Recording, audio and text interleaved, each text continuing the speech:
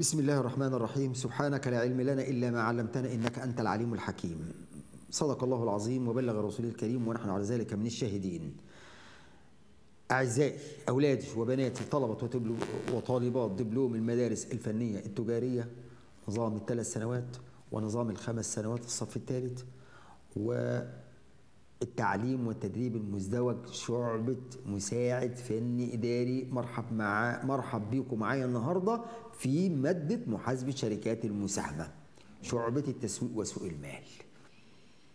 خلي بالكم معايا الحلقة اللي فاتت أنا كنت عرضت لكم تمرين علشان أعرفكم الحاجة من الاثنين الزيادة دي يا ترى بنحجزها لسداد أقساط جاية ولا يا ترى بنردها لأصحابها؟ وعرضت لكم تمرين الحلقة اللي فاتت في حاله سداد القيمة الإسمية مرة واحدة. النهارده التمرين بتاع الحلقة اللي فاتت بفككم معاكم نقطة نقطة بس المرة دي على اقساط المرة دي على اقساط افهم معايا. طبعا الحلقة اللي فاتت إحنا قلنا إن الشركة دي تأسست برأس مال قدره 8 مليون جنيه زي ما شفتوا قبل كده والقيمة الإسمية 40 جنيه. قلت لك أنا كل كل نقطة كده استفيد بالمعلومات دي علشان هتفيدك في حل التمرين. فككت التمرين التمرين هيمشي معاك زي الحلاوة مفيش مشاكل. لكن لو أنت مش فاهم صدقني هتلاقي العملية يعني مكلكعة قدامك وإن شاء الله تابعنا بس وهتلاقي الأمور سهلة جدا جدا. ما تخافش ما تخافوش. اهو ادي قدامي أنا استفدت 8 مليون جنيه 40 القيمة الاسمية يبقى عندي 200000 سهم. ال 200000 سهم دول أنا الحلقة اللي فاتت قلت لكم مين المشترك فيهم. لو أنت قريت التمرين معايا المؤسسين اكتتبوا فيه 50% في نصهم في الحد الأدنى. يعني نص ال 200000 كام؟ 100000 سهم. يبقى دي 100000 سهم. يبقى دي 100000 سهم. يعني إيه الكلام ده يا مستر؟ يعني كاف للمؤسسين وصاد للمؤسسين قد بعض. طيب وبعدين؟ كمل معايا. وتم عرض باقي الأسهم للاكتتاب العام. يا جمهور تعالى عندنا الباقي من ال 200 كام؟ المؤسس اكتتب في نصهم اللي هم ال 200 دول نصهم 100 النص الثاني للمكتتبين. أنا ناديت على الجمهور يا جمهور تعالى عندنا 100000 إيه؟ سهم كله جاي بقى. خد استمارة واكتب الأسهم اللي انت عايزها وخد وخد وخد وكده. لمينا الاستمارات في الآخر لقينا الناس اكتتبوا ودفعوا على كام؟ اقرأ معايا. خلي بالك في الآخر خالص بعد الأقساط قدامك أهي. وتم الاكتتاب في 140 ألف سهم. 140 مش 140 سهم بس ما أنا آسف هي 140 ألف سهم. وهتشوفها في الحل دلوقتي. الاكتتاب كاف عشان تبقى عارف 140 ألف إيه؟ سهم. الزيادة كام يا مستر؟ الزيادة يبقى 40 ألف سهم. دي الزيادة. يبقى خلي بالك لما يقول لك تم الاكتتاب في 140 سهم لا هي مش 140 هي 140 ألف. يعني في ثلاث أصفار متكلين معايا؟ وأنا مرأتهم لك في الإرشادات. وبعد كده القيمة الاسمية كام يا مستر؟ 40 جنيه. طب هل هتدفع مرة واحدة؟ أنت اقرأ اقرأ التمرين قدامك أهو. ال 40 جنيه ديت بتسدد كالآتي في على أقساط يعني. قسط اكتتاب وقسط الاكتتاب ما يقلش عن ربع القيمة الإسمية وإلا فقط قيمته. ما يقلش أنا المرة الثانية بقول لك ما يقلش قسط الاكتتاب عن ربع القيمة الإسمية. القيمة الإسمية كام؟ 40 يبقى ما يقلش عن 10 ما لم ينص في التمرين على غير ذلك. هو نص قال لي إيه؟ قال لي قسط الاكتتاب 20 جنيه. ماشي. و10 جنيه قسط تخصيص. ماشي. و10 جنيه كمان قسط أول وأخير. على عينيا لو إحنا جمعنا دول حضرتك كده عزيز الطالب عزيزات الطالبة لو جمعتوهم يا أولادي وبناتي هتلاقيهم كام؟ 40 جنيه. يبقى ال 40 جنيه ديت حاصل إيه؟ حاصل جمع القيمة الإسمية. حاصل جمع القيمة الإسمية. كتاب 20 تخصيص 10 قسط أول وأخير 10 يبقى مجموعهم 40 افرض يا راجل فرض ده بقى من عندي بره التمرين معلش يعني. جاب لك قسطين مجهولين أحدهم الاكتتاب. أنا هخرج عن التمرين شوية معذره يعني عشان برضو يعني ساعات في أوائل الطلبة وفي مسابقات أوائل الطلبة بتتعمل وبنعملها عندنا في المحافظات وكده وعلى مستوى الجمهورية بنعمل إيه؟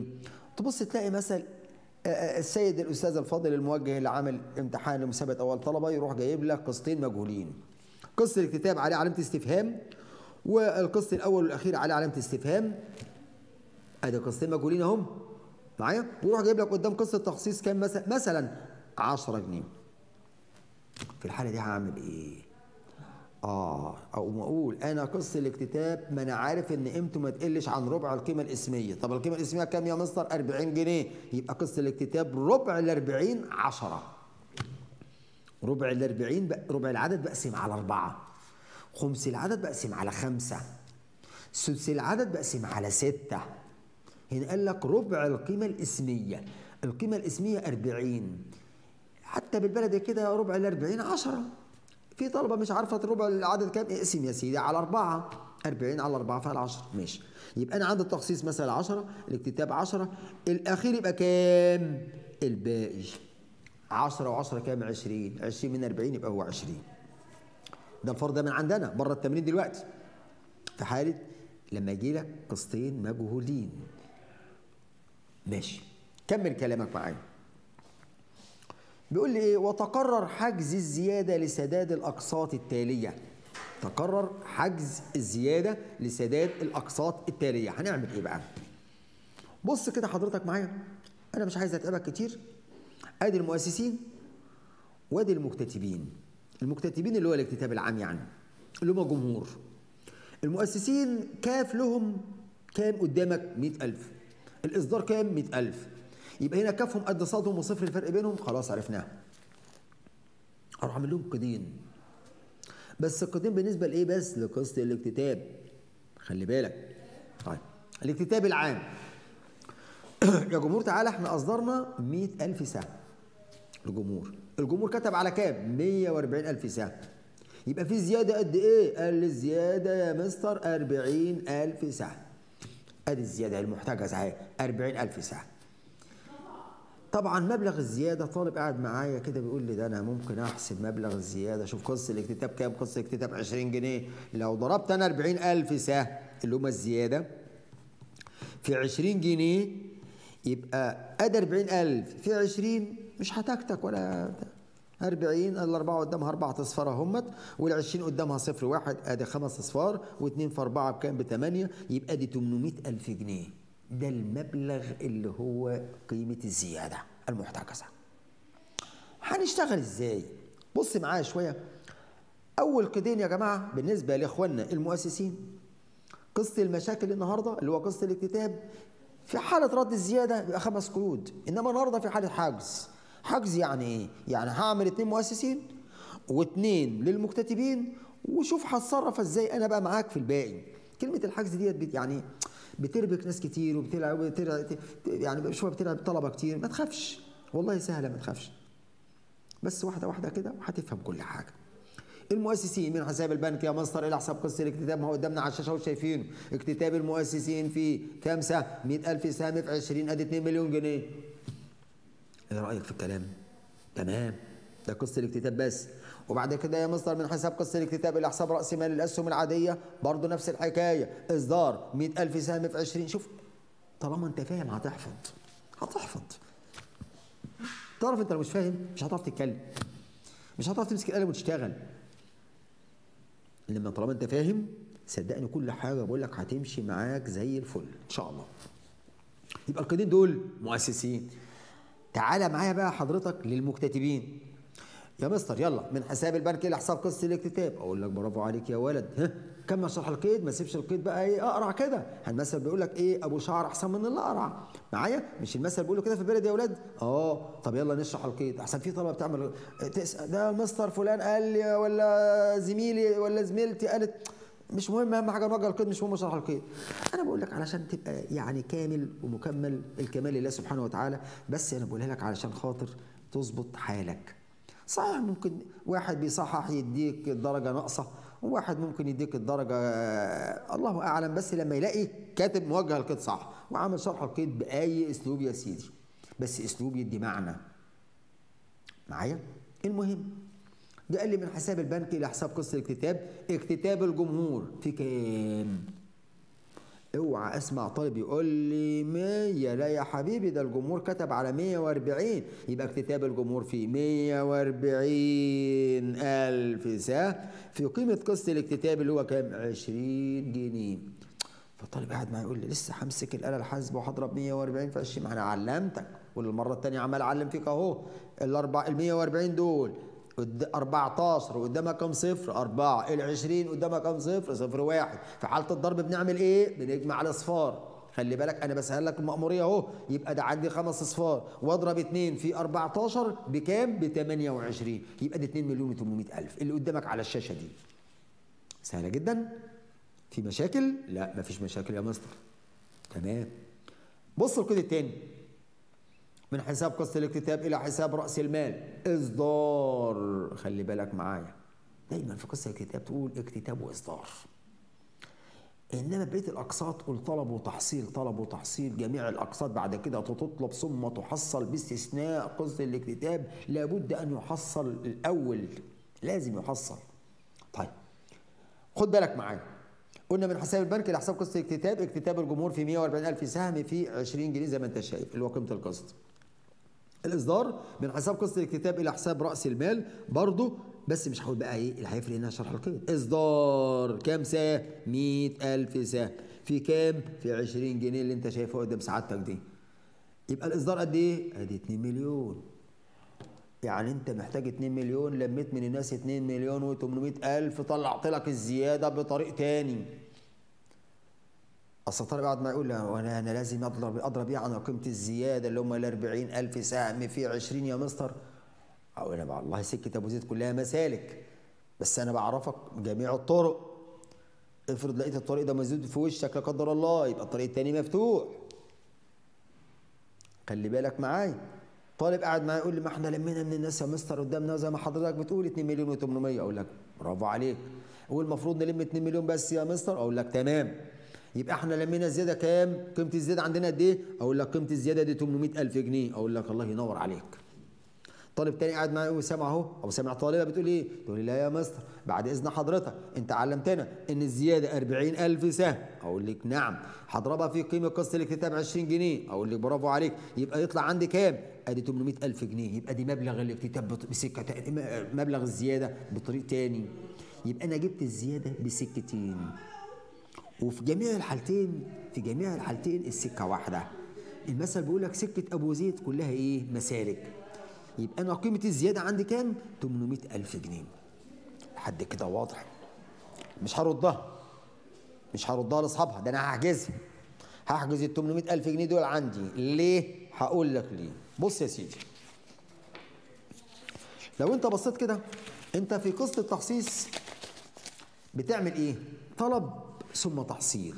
وأنا علمتك إن عند الطلب القسط مدين ورأس المال داين. تاني ها عند الطلب القسط مدين ورأس المال داين. يبقى هتقول من حساب قسط التخصيص إلى حساب رأس المال. شوف أنا بشرح كده إزاي خلي بالك أهو. طلب قسط التخصيص عن كام؟ 200 ألف سهم. طالب قاعد معايا يقول يا نهار أبيض هو الاكتتاب كان بيفرقهم وجه التخصيص جمعهم؟ آه ما أنا كنت بغنيها لك زمان. أنا كنت بغنيها لك زمان ساعة ما بقول لك إيه الاكتتاب التخصيص بيقول إيه؟ خلي الأسهم المصدره بتقول إيه؟ الأسهم المصدره اللي هم ال 200000 دول بيقولوا الاكتتاب بيفرقنا والتخصيص بإيه؟ بيجمعنا. سهلة ديت؟ اقولها تاني؟ الاكتتاب بيفرقنا والتخصيص بيجمعنا. عشان لما تيجي تطلب قصة تخصيص ما تقولش بقى اطلب عن ال 100 ولا ال 140 وتدخل نفسك في حراسات اسمع اللي بقول لك عليه علشان تمشي على نور. الاكتتاب الاسهم المصدرة بت- بتندب على نفسها وبتقول إيه؟ الاكتتاب بيفرقنا والتخصيص بإيه؟ بيجمعنا. سهلة؟ سهلة. يعني لما تيجي تطلب قصة تخصيص تطلب عن كام؟ 200 ألف سهم. في قيمة التخصيص قيمة التخصيص قدامك كام جنيه؟ خلي بالك معايا. في قيمة قسط التخصيص اللي هو 10 جنيه. قسط التخصيص 10 جنيه. عشان كده بقول لك طلب قسط التخصيص عن 200 ألف سهم في 10 جنيه اللي هو قيمة القسط. يطلع ادي 2 مليون جنيه. انت بتطلب حقك عادي. عند التحصيل بقى تقوم تقول إيه؟ خلي بالك انت طالب كام؟ 200 انت طالب 2 مليون جنيه. 2 مليون جنيه. هتعمل إيه في ال 2 مليون دول؟ جنيه هتحصلهم إزاي؟ تعالى لي بقى يا سعادة الباشا التمرين بيقول لك إيه؟ خلي بالك وقد تقرر حجز الزيادة لسداد الأقساط التاليه أدي الحجز هي اللي هي اللي مدوخة ناس كتير ما تخافش. صحيح اللي بيقعد على الامتحان ممكن ما يجيبهاش وكده بس ممكن يجيبها برضه فأنت لازم تفهم. لازم تفهم الحاجز بنعمل فيه إيه نعمل. بص يا سيدي معايا. لو ركزت معايا هتبقى هايفة جدا جدا جدا.